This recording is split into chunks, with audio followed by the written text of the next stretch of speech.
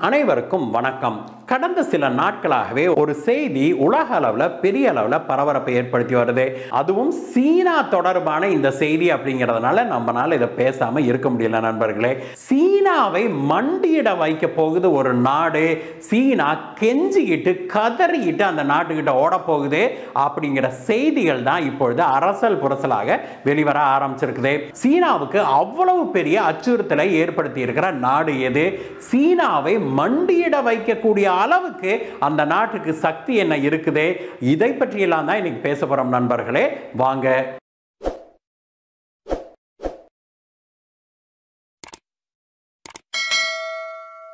இன்றைக்கு உலகத்திலேயே மிகப்பெரிய அளவில் பொருளாதார வளர்ச்சியை கண்டு வருகிற நாடு எது அப்படின்னு கேட்டோம்னா இன்றைக்கு ஒரு சின்ன குழந்தையோட அதற்கு சீனா தான் அப்படின்னு பதில் சொல்லிட முடியும்.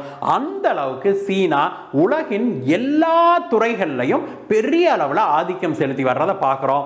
அதிநவீன தொழில்நுட்ப துறைகள் சிலவற்றை தவிர மீதி எல்லாவற்றிலையுமே சீனா ஆதிக்கம் செலுத்துது. கடந்த சில தசாப்தங்களாகவே உலகம் பெரிய அளவில் மாற்றங்களை சந்தித்து வருது. அப்படிங்கிறத பார்க்குறோம். முக்கியமாக பொருளாதார வளர்ச்சி அப்படின்னு நம்ம சொல்லும் போதே அதில் பலவிதமான மாற்றங்களை நம்முடைய தலைமுறையிலேயே நம்ம பார்த்துட்டோம். உதாரணத்துக்கு வாகனங்களை எடுத்துக்கிட்டோம் அப்படின்னா கூட பெட்ரோல் டீசல் தான் வாகனம் ஓடும் அப்படிங்கிறது தான் நம்முடைய நியதியாக இருந்தது. அதை மட்டும்தான் நாம் பார்த்து வளர்ந்துருக்கிறோம். ஆனால் கடந்த சில ஆண்டுகளாக எலக்ட்ரிக் வெஹிக்கிள்ஸ் வந்துருச்சு. அப்போ பெட்ரோலுக்கும் டீசலுக்குமான தேவை குறைய ஆரம்பிச்சிருச்சு அப்படிங்கிறத பார்க்குறோம். அதே போல் பிற வழிகளில் நம்ம சக்தியை உருவாக்க முடியும். சூரிய சக்தி ஆகட்டும் அல்லது காற்று சக்தி ஆகட்டும் இதை பயன்படுத்தியும் கூட இனி வருகிற காலங்களில் உலகம் பெரிய அளவில் முன்னேறும் அப்படின்லாம் நம்ம பார்த்துக்கிட்டு இருக்கிறோம். ஆனால் இத்தனை நடந்தும் கூட ஒரு விஷயம் மட்டும் மாறாமல் அதனுடைய தேவை தொடர்ந்து அதிகரிச்சுக்கிட்டே வர்றதை நம்ம பார்க்குறோம். அது என்ன அப்படின்னா இரும்பு உடைய பயன்பாடு தான். ஆமாம் நீங்கள் என்ன எடுத்துக்கிட்டாலும் சரி எத்தனையோ அலாய் இன்னைக்கு வந்துருச்சு. நம்ம அலுமினியம் பயன்படுத்துகிறோம் காப்பர் பயன்படுத்துகிறோம் ஆனால் பெருமளவில் இன்றைக்கும் நம்ம எல்லா விதமான பொருட்களுக்கும் பயன்படுத்துறது இரும்பு தான் அந்த இரும்பு ஸ்டீல் மேனுஃபேக்சரிங்கில் மிகப்பெரிய அளவில் கொடிகட்டி பறந்து வருது சீனா. அது மட்டும் இல்லாமல் சீனாவுடைய பொருளாதாரத்தின் வளர்ச்சி இவ்வளோ பெருசாக இருக்கிறதுக்கு காரணமே என்ன சொல்கிறாங்க அப்படின்னா சீனாவுடைய கட்டுமான துறையில் கடந்த சில தசாப்தங்களாக ஏற்பட்ட மிகப்பெரிய வளர்ச்சி அப்படின்னு சொல்லப்படுது. அதனால தான் உலகத்திலேயே அதிகமான மிகப்பெரிய ஸ்டீல் கன்சியூமராக அயன் கன்சியூமராக இருக்கிறது யாரு அப்படின்னா சீனா தான் உலகத்தில் அதிகமான கட்டடங்களை உருவாக்கி வர்றதும் சீனா தான் அதனால் அதனால தான் சீனாவுக்கு இரும்புங்கிறது அவ்வளோ பெரிய அத்தியாவசியமான ஒரு விஷயமாக இருக்குது. ஆனால் இரும்பு தாது வேணும் இல்லையா? இரும்பு தயாரிக்கிறதுக்கு அந்த தாது இருக்குது இல்லையா? அது வந்து சீனாவில் பெருமளவில் இல்லை அப்படிங்கிறது நம்மள எத்தனை பேத்துக்கு தெரியும். இது மிகப்பெரிய அளவில் கிடைக்கிறது எங்கெல்லாம் அப்படின்னு பார்த்தோம் அப்படின்னா ஆஸ்திரேலியா இந்தியா போன்ற நாடுகளில் தான் ஆஸ்திரேலியாவுடைய இரும்பு தாதை பெரிய அளவில் இறக்குமதி செய்து அதைத்தான் தன்னுடைய மிகப்பெரிய இந்த பொருளாதார வளர்ச்சிக்கே பயன்படுத்தி வருது சீனா. ஆனால் இப்பொழுது சீனாவுக்கும் ஆஸ்திரேலியாவுக்கும் கொஞ்சம் முட்டிச்சு இல்லையா? அதற்கு பிறகு ஆஸ்திரேலியா நாமும் சீனாவை திருப்பி அடிக்கணும் அப்படிங்கிற ஒரு முடிவுக்கு இப்பொழுது வந்திருப்பதாக சொல்லப்படுது. பிரச்சனையுடைய ஆரம்பம் எங்க அப்படின்னு பார்த்தோம்னா கொரோனா எங்க ஆரம்பிச்சது அப்படிங்கிற கேள்விக்கான பதிலை டபிள்யூஹெச்ஓ உலக சுகாதார மையம் கண்டுபிடிக்க வேணும். அதற்கு ஒரு ஓப்பனான ஒரு இன்வெஸ்டிகேஷன் தேவை அப்படின்னு சொல்லி ஆஸ்திரேலியா சென்ற ஆண்டு ஐக்கிய நாடுகள் சபையில் கேட்டது. இது சீனாவை பயங்கரமா கோவப்படுத்துச்சு. ஆனால் ஆஸ்திரேலியாவோ இந்த இன்வெஸ்டிகேஷன் நடந்தே ஆகணும். நாங்க இந்த கோரிக்கையிலிருந்து பின்வாங்க மாட்டோம் அப்படின்னு இன்றைக்கு வரைக்கும் உறுதியாக நிற்குது. கொரோனா வைரஸை உருவாக்குனது சீனா தான் அங்கே தான் உருவாச்சு. அங்கிருந்தா உலகம் பூரா பரவுச்சு அப்படிங்கிறது நம்ம எல்லாத்துக்குமே தெரியும்னாலுமே கூட அதை டபிள்யூஹெச்ஓ நிரூபிச்சு விடக்கூடாது.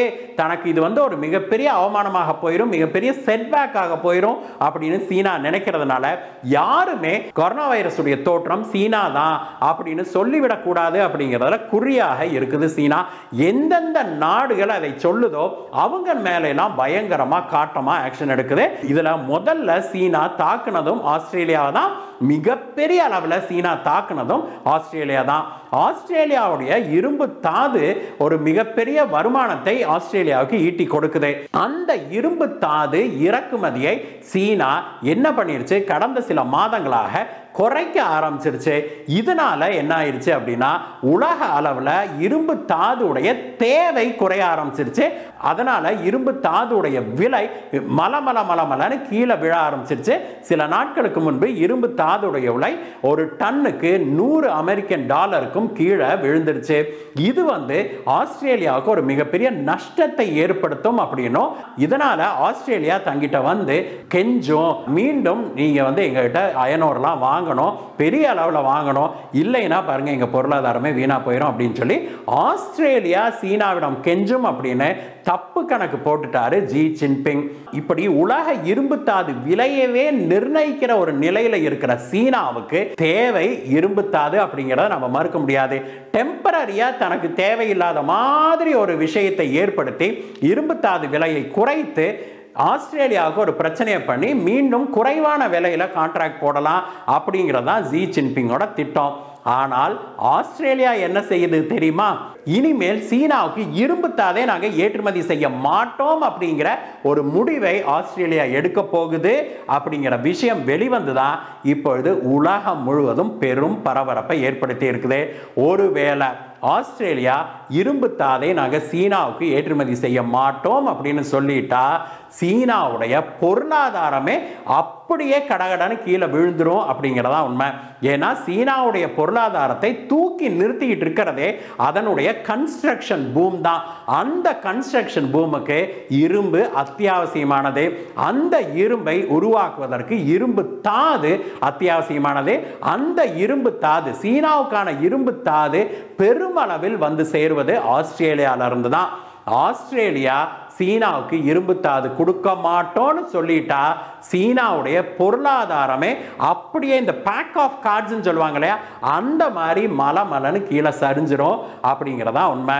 ஆஸ்திரேலியா இப்படி ஒரு முடிவை எடுக்க போகுது அப்படிங்கிற ஒரு விஷயம் கசிய ஆரம்பிச்ச உடனேயே சீனா இப்பொழுது அந்தர்பல்ட்டி போட்டுக்கிட்டு ஆஸ்திரேலியாவிடம் சரணடைய ஆரம்பிச்சிருக்குது அப்படிங்கிற செய்தியும் நம் காதுகளுக்கு எட்டுது நண்பர்களே.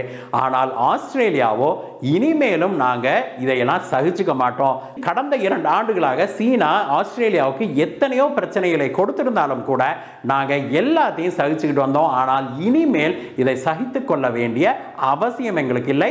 அந்த பொறுமையையும் நாங்கள் இழந்து விட்டோம்.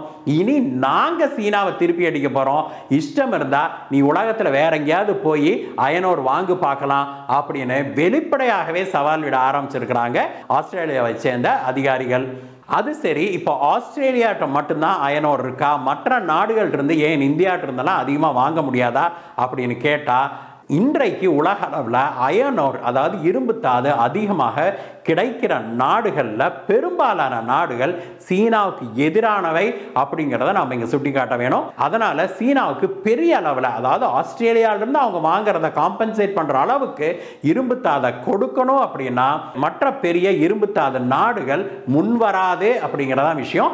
இது தொடர்பாக இந்தியாவும் ஆஸ்திரேலியாவோடு தான் கைகோர்த்து நிற்கும் அப்படிங்கிற செய்தியும் வெளிவந்திருக்குது.